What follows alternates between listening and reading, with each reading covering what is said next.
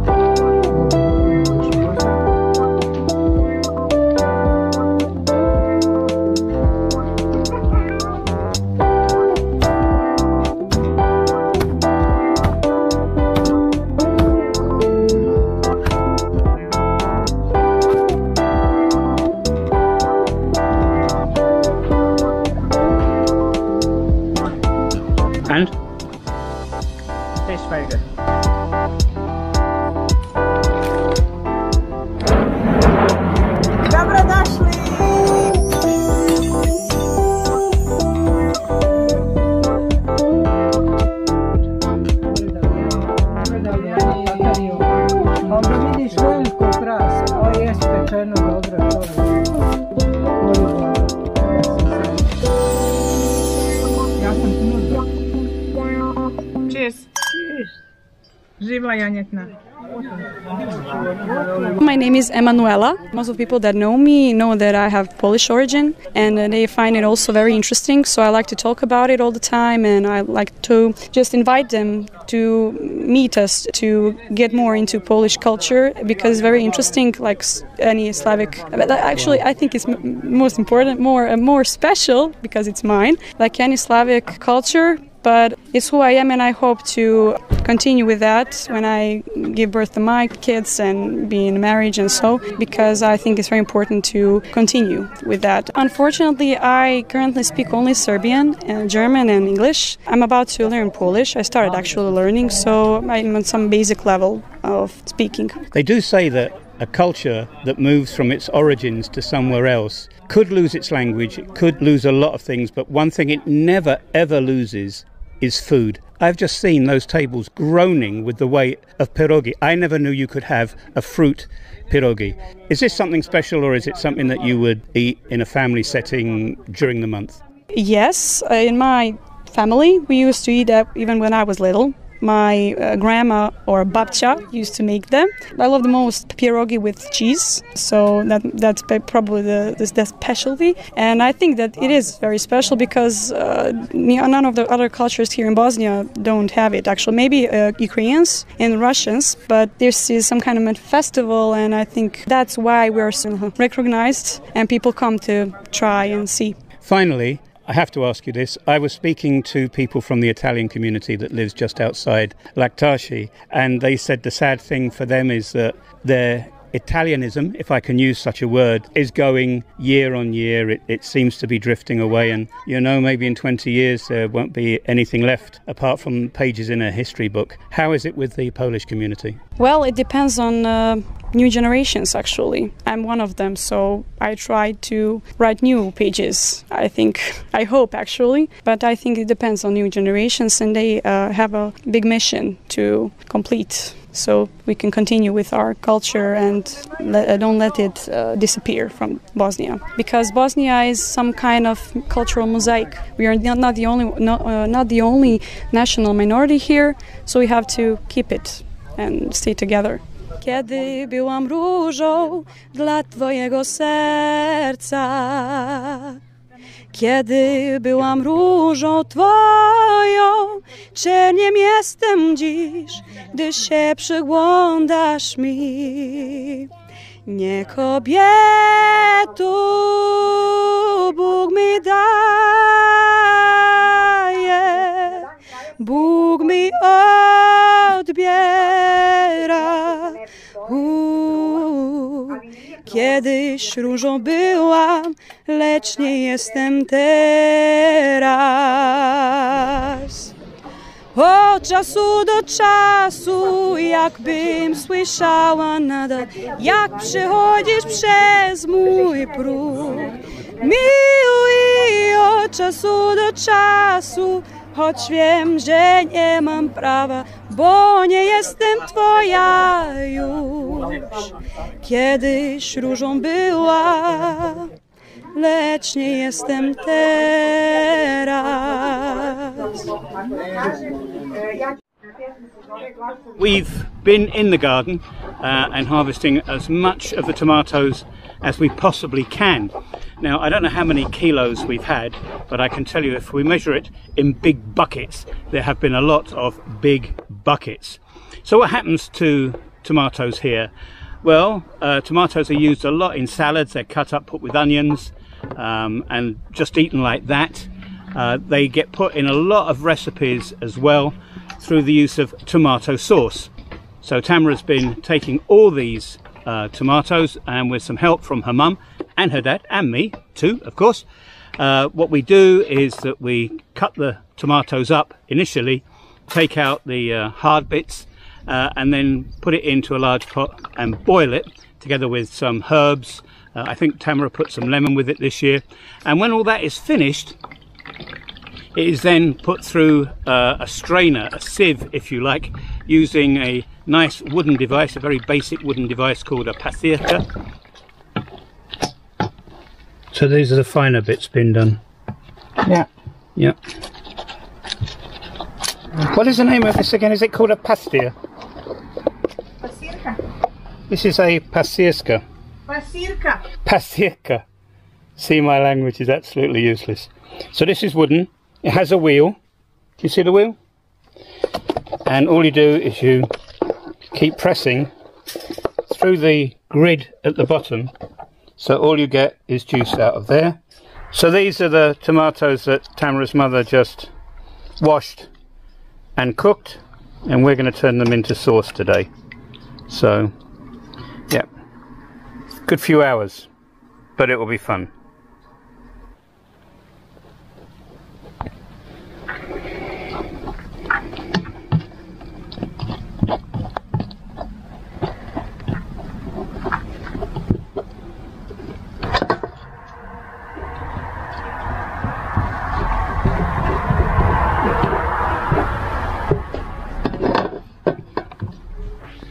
So all the tomatoes have been done outside, yes?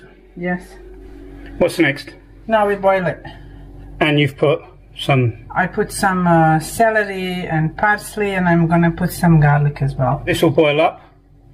And then we're going to make sure that we've got no celery pieces or other stuff. And then they'll be put into pasteurized jars or bottles. You want to use these bottles this time, don't you? Yeah, I'll wash them. So we're going to pasteurize these, clean them out, and then we'll show you how we fill up the containers and Tam's super trick on how she keeps the lids clean. Oh, smoke, heat. Bottles, this time not glasses. And how long do we 100 Celsius for 10 minutes. 100 Celsius for 10 minutes. The sauce is now bubbling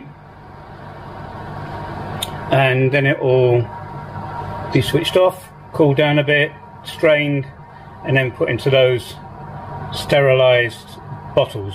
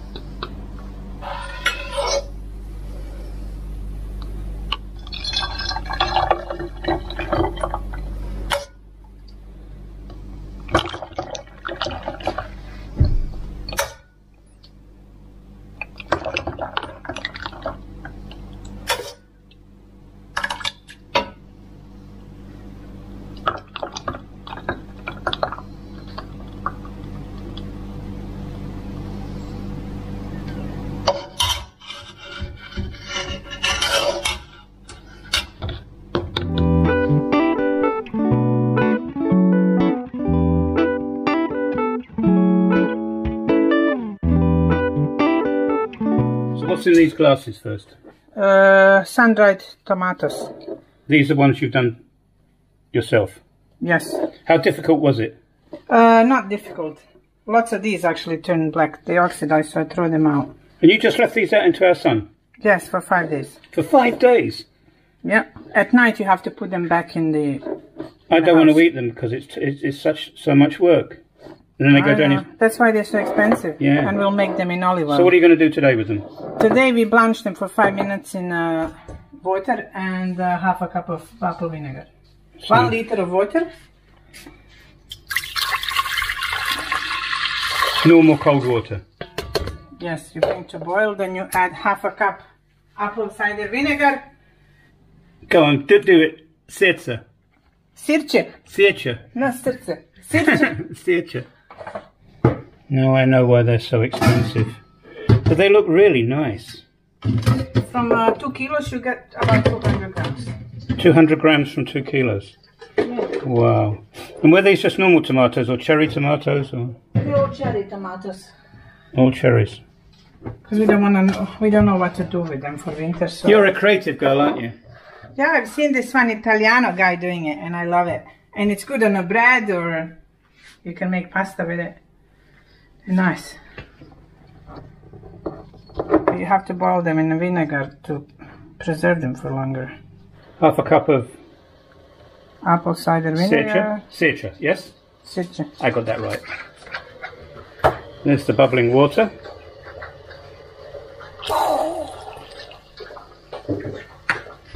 And this is, you said to blanch them. Yeah, 5 minuta.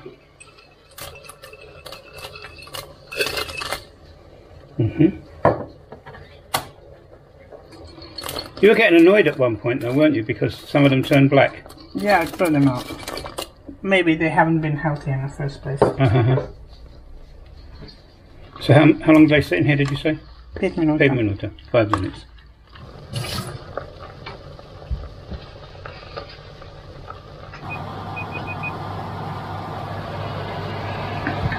Eight minuta is up.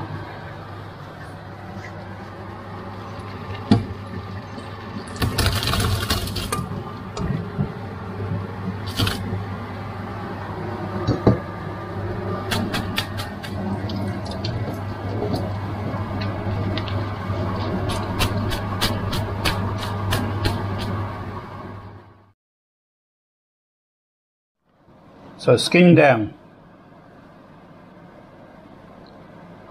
Tam says that's the better way to do it. So we'll take these to my office because it's, I think, a better environment, yeah? Now they should dry for a few hours and then we'll finish them off. Okay. In olive oil, spices. There we go, somewhere safe, away from the fly.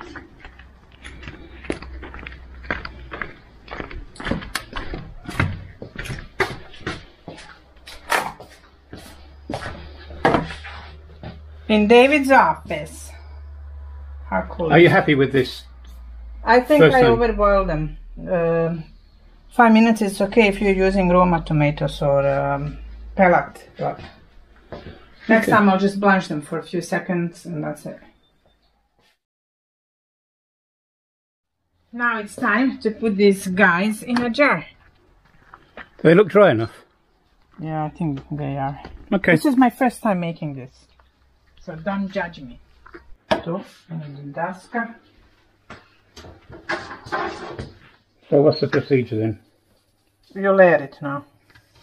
So a layer of dried tomato. Malo dry tomato, malo spices, and then again, and then we forgot the main thing. The main ingredient, I hope I have enough. Carapelli oil. Extra virgin. Let's start. I have two different kinds. These are more skinny. So I'm gonna mix them up. How many jars can we make from all this? Not many, trust me. But we make different flavors. This is garlic. garlic now.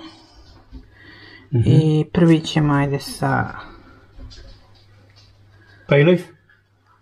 Nije bay leaf. Basil. Basil. Okay, now more tomatoes.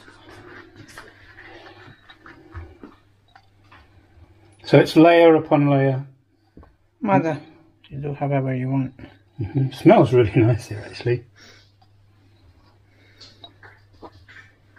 They should taste.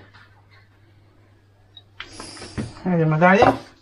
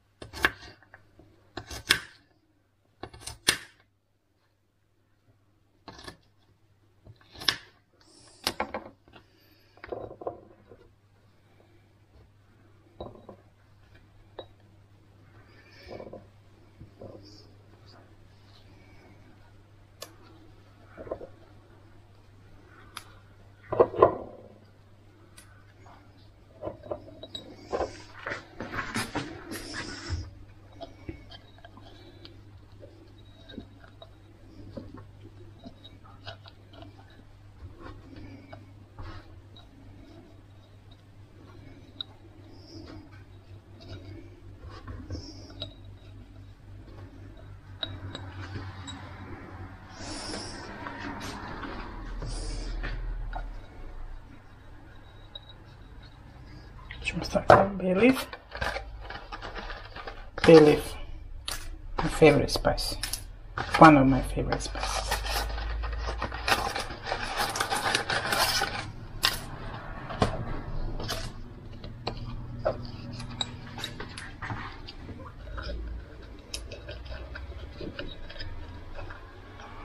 Tako, još garlic. No, I like garlic.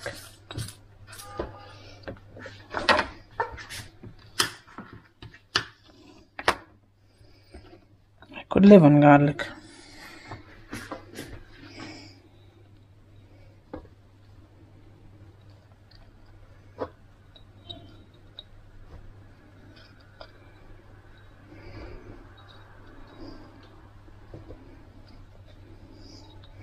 This is a lot of work, but it's worth it. See. They taste amazing. Oh, some.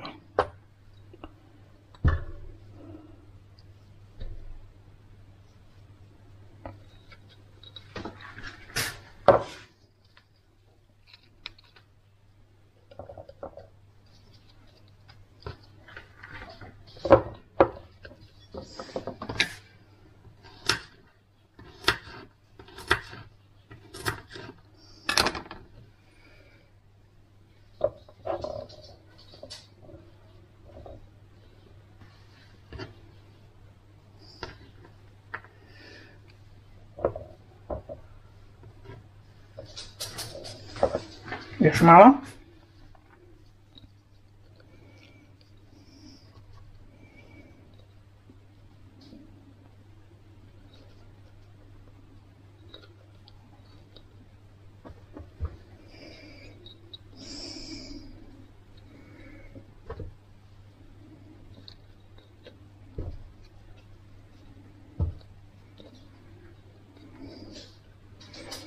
To je to, I think. And now, Stavit ćemo još jedan ovako dozgo. I sad now we fill it up with the olive oil. You have to cover it.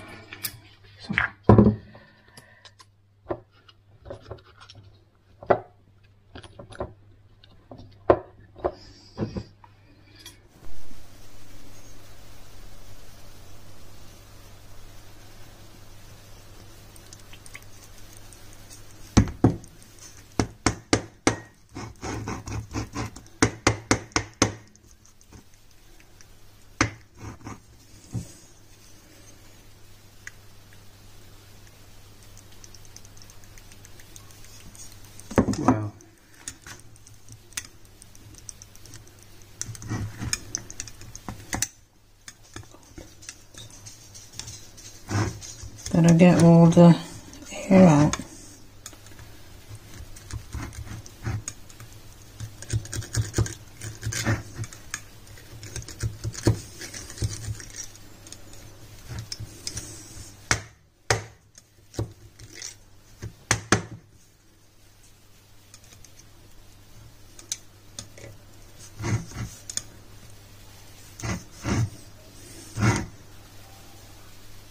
That looks good, isn't it?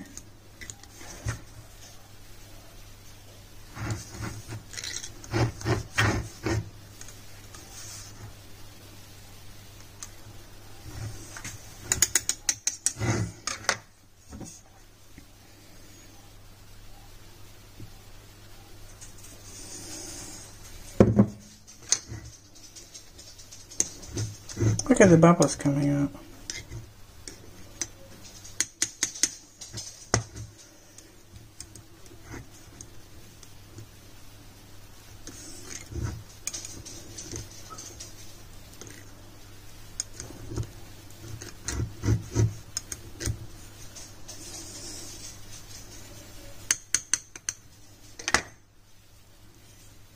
I guess that's it.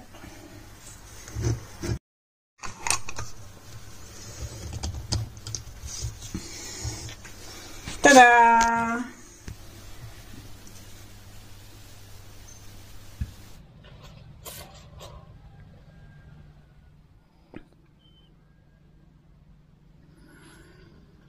After drying for five days, we got this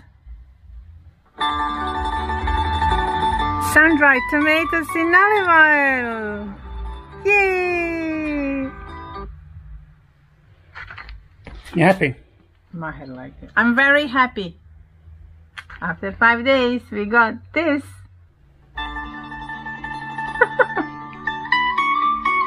Beautiful.